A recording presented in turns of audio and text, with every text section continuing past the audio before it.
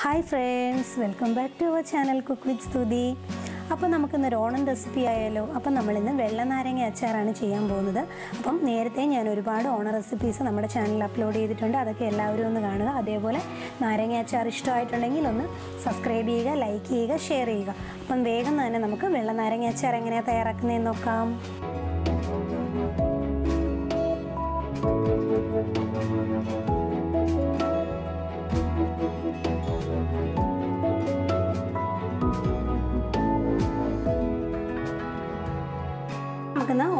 Special വെള്ള നാരങ്ങ അച്ചാറാണ് നമ്മൾ തയ്യാറാക്കാൻ പോകുന്നത്.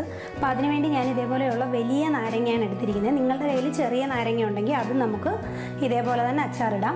അപ്പോൾ ഇതേപോലെ ഇതിപ്പോൾ നമുക്കൊന്ന് ഞാനിപ്പോൾ ഒന്ന് ജസ്റ്റ് ക്ലീൻ ചെയ്ത് വെച്ചിട്ടേ ഉള്ളൂ. ഇനി ഇതിന്റെ തൊലിയൊക്കെ ഒന്ന് കളഞ്ഞ് നല്ലതുപോലെ ഒന്ന് കട്ട് ചെയ്തെടുക്കണം. അപ്പോൾ നമുക്ക് വേഗം തന്നെ ഇതിന്റെ തൊലിയൊക്കെ കളഞ്ഞൊന്ന് കട്ട് ചെയ്ത് കൊണ്ടുവരാം. നാരങ്ങയുടെ ഈ രണ്ട് സൈഡും കട്ട് ചെയ്ത് കളയണേ. രണ്ട് സൈഡും കട്ട് ചെയ്തിട്ട് ഇങ്ങനെ നമ്മൾ ചെത്തി കളയണം. ചെത്തി കളയുമ്പോൾ ഇങ്ങനെ ഒരു വൈറ്റ് പോർഷൻ കാണും.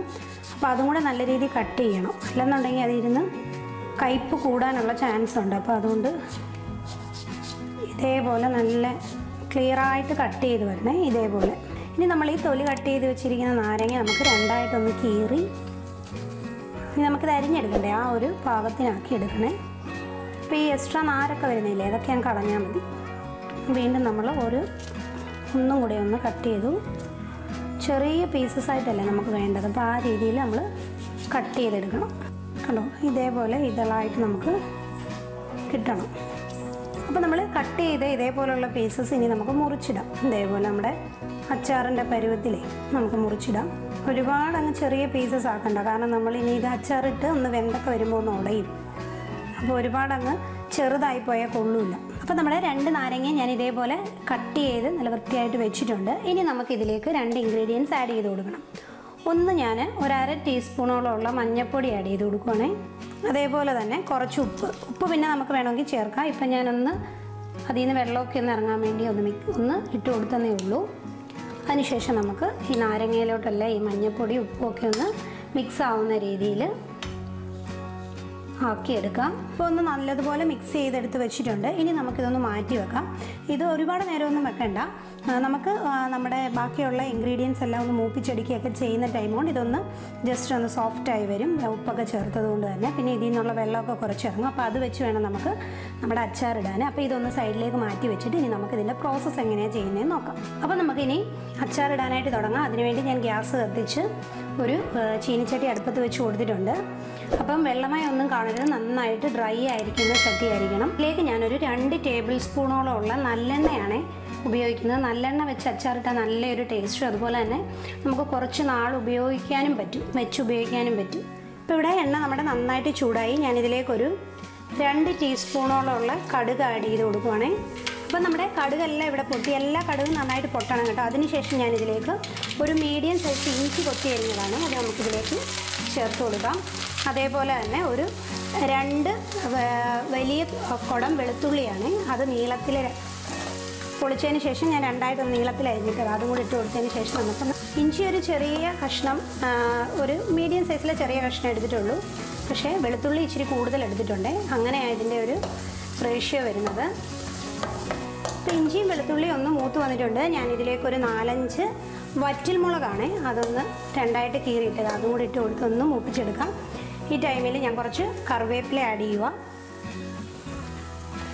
കറിവേപ്പിലയൊക്കെ നല്ലോണം ചേർക്കും കുഴപ്പമൊന്നുമില്ല. നല്ലൊരു ഫ്ലേവർ കിട്ടും. നമ്മളിത് വെള്ള നാരങ്ങ അച്ചാറല്ലേ അപ്പോൾ അതിന്റെ മെയിനായിട്ട് ഇൻഗ്രീഡിയന്റ് എന്ന് പറയുന്നത് കാന്താരിയാണ്. അപ്പോൾ ഞാനിവിടെ എന്റെ ഒരു പിടിക്ക് വലിയ കാന്താരി എടുത്തിരിക്കുന്നത്. ചെറിയ കാന്താരി നിങ്ങളുടെ കയ്യിലുണ്ടെങ്കിലും ചേർത്ത് കൊടുക്കാം. അത് ഞാനിപ്പോൾ ഇതിലേക്ക് ചേർത്ത് കൊടുക്കും. അപ്പോൾ നമ്മുടെ എരിവിന് ആവശ്യത്തിന് ചേർത്ത് കൊടുക്കാം. ഈ വെള്ള നാരങ്ങയുടെ ഹൈലൈറ്റ് എന്ന് പറയുന്നത് തന്നെ ഈ ഒരു കാന്താരി ഇടുന്നതാണ്. അപ്പം നമ്മൾ കാന്താരിയും കൂടെ ഇട്ട് കൊടുത്ത് നന്നായിട്ടൊന്ന് മൂപ്പിച്ചെടുക്കണം. അപ്പം നിങ്ങളുടെ കയ്യിൽ കാന്താരിയോ അല്ലെങ്കിൽ ഇതേപോലത്തെ കാന്താരിയോ ഇല്ലെങ്കിലും കുഴപ്പമൊന്നുമില്ല. നമുക്ക് എരിവുള്ള പച്ചമുളക് ആവശ്യത്തിന് അരിഞ്ഞ് ചേർത്ത് കൊടുത്തും ഇതേപോലെ വെള്ള നാരങ്ങ അച്ചാർ ഇടാം. അപ്പോൾ നമ്മുടെ നമ്മൾ ഈ വെള്ള നാരങ്ങ അച്ചാർ ഇടുമ്പോൾ നല്ല എരിവൊക്കെ വേണം. അപ്പോൾ അന്നേരമാണ് നല്ലൊരു ടേസ്റ്റ് ഉണ്ടാകുന്നത് നമ്മുടെ അച്ചാറിന്. ഇപ്പോൾ ഇത് എല്ലാം ഒന്ന് നന്നായിട്ട് മൂത്ത് വന്നിട്ടുണ്ട്. നമ്മൾ പച്ചമുളക് ഇട്ട് കൊടുത്തു കഴിഞ്ഞ് ഇത് എണ്ണയിൽ കിടന്നൊന്ന് വഴണ്ട് കഴിയുമ്പോൾ നല്ലതുപോലെ ഒന്ന് കുടുന്ന് വരും കേട്ടോ ഇതേപോലെ ഒന്നായി വരും. അപ്പോൾ നല്ലതുപോലെ ഒന്ന് മൂത്തുന്ന അതായത് മൂത്തൊന്ന് റെഡി ആയിട്ടുണ്ട്. ഇനി നമുക്കിതിലേക്ക് കായപ്പൊടിയാണ് ചേർത്ത് കൊടുക്കേണ്ടത്. അപ്പം ഞാനിപ്പോൾ ഇവിടെ ഇതിലേക്കൊരു കായപ്പൊടി എന്റെ കയ്യിലുള്ള. മുഴുവനെ കായമുള്ളവർക്ക് ഈ ടൈമിൽ ചേർത്ത് കൊടുക്കാം. ഞാൻ ഒരു ടീസ്പൂണോളം ഉള്ള കായപ്പൊടി ചേർത്ത് കൊടുത്തിട്ട് ഒന്ന് മിക്സ് ചെയ്യാം. പിന്നെ നമുക്ക് പൊടി ആയതുകൊണ്ട് തന്നെ പിന്നെ വേണമെങ്കിൽ നമുക്കെല്ലാം ഒന്ന് കഴിഞ്ഞ് കഴിഞ്ഞ് നമുക്കൊന്ന് ടേസ്റ്റൊക്കെ നോക്കി കഴിയുമ്പോൾ വേണമെങ്കിൽ ചേർത്ത് കൊടുക്കാം. ഇപ്പം ഞാൻ ഇത്രയും ചേർത്ത് കൊടുത്തു. തീ ഒന്ന് സ്ലോ ആക്കി വെച്ചിട്ടുണ്ട് ഞാൻ ഇനി നമ്മൾ തയ്യാർ ആദ്യമേ തന്നെ തയ്യാറാക്കി വെച്ചിരുന്നില്ലേ ആ നാരങ്ങ? അത് നമുക്കിതിലേക്ക് ചേർത്ത് കൊടുക്കാം.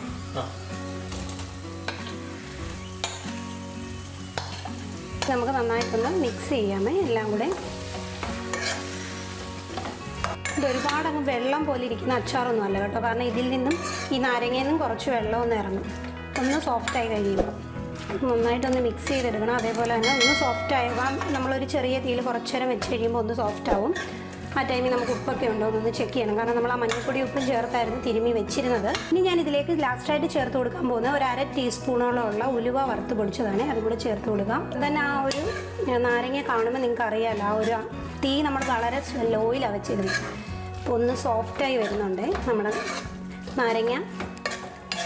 നല്ലൊരു ഫ്ലേവറാണ് കായത്തിന്റെ അതേപോലെ തന്നെ ഉലുവായും കടുക് വറുത്തതിന്റെ നല്ലെണ്ണയിൽ ഉണ്ടാക്കിയേക്കുന്നതിന്റെ ഒക്കെ അപ്പോൾ നമുക്ക് ഈ ടൈമിലൊക്കെ ഇട്ട് വെച്ചാൽ നമുക്ക് ഓണം ആകുമ്പോഴത്തേക്ക് നമ്മുടെ ടേസ്റ്റി ആയിട്ടുള്ള വെള്ളനാരങ്ങ അച്ചാർ കിട്ടും.